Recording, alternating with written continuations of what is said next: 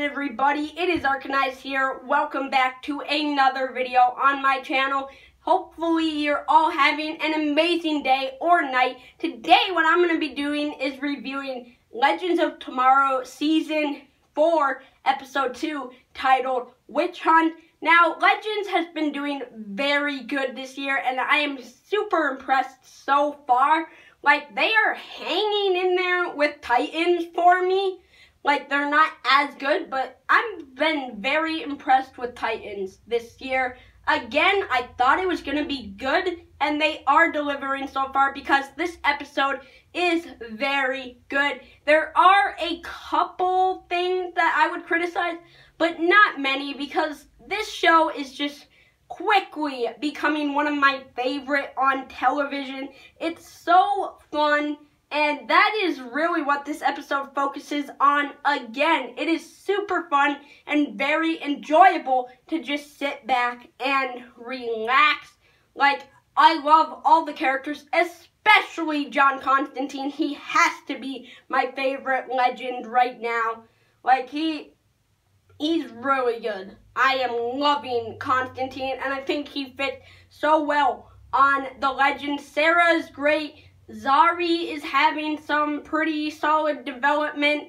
I just don't want them to go too far with pushing her kind of whole, you know, thing with her mom and how now she wants to make sure nothing like that ever happens again.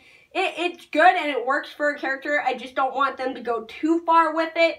Also, Nate is really getting some development this season. Much needed development, may I add. And I do like him working with Ava at the Time Bureau. And I think if they stick with that, that could work because I wasn't really sure what they were going to do with him this season with Amaya off the team. And him working at the Time Bureau and working with his dad will be pretty interesting. I do like that they're trying to strengthen his relationship with his dad as well. I think that is going to work very well. Overall, this episode is very fun. My only thing really is I don't absolutely love the mythical creature villains. I prefer when they're actually fixing time anachronisms. Like, I think that, to me, is more interesting. But the the fugitives, the mythological creatures, are pretty cool too. Like, I enjoy the witch in this episode as a villain. The actor was very good, and her powers were fun. Maybe they went a little overboard with it. I don't know. But I enjoyed it overall. I enjoyed this entire episode. And yeah, that I'm to try and keep this review shorter, guys, just because I have stuff to do. I know you guys have stuff to do. So that is going to really be it. This episode was very fun with some nice action.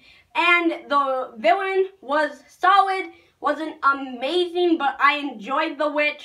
And she served her purpose, definitely. I like where they're going with the characters. Constantine is just straight up amazing. And Legends is just very good. Like, I am really liking it. This episode was really good, so I am going to give it an 8.8 .8 out of 10. Hopefully you guys all enjoyed this video. If you did, be sure to drop a like and subscribe down below for more videos. And I will see you all next time. Peace out.